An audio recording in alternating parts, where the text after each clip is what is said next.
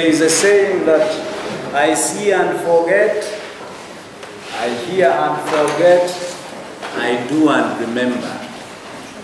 Never come in my class and sit like a cabbage and look at me and then when I'm done you walk out. You may be thinking that you have the notes.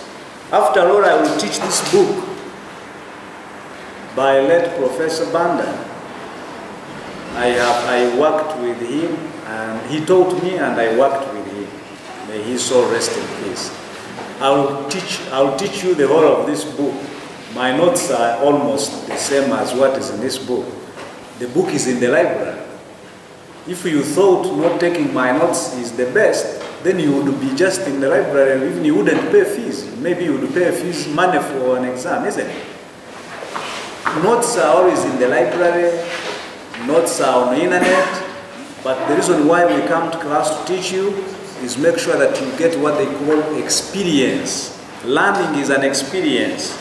Today's conditions outside and inside this room, the way I look, makes you remember what I teach you. Otherwise, I would be able to teach this course in one week and finish it. But the reason they draft it for four months is to give you a daily experience. The comments I make, the stories I give, help your brains to connect the dots.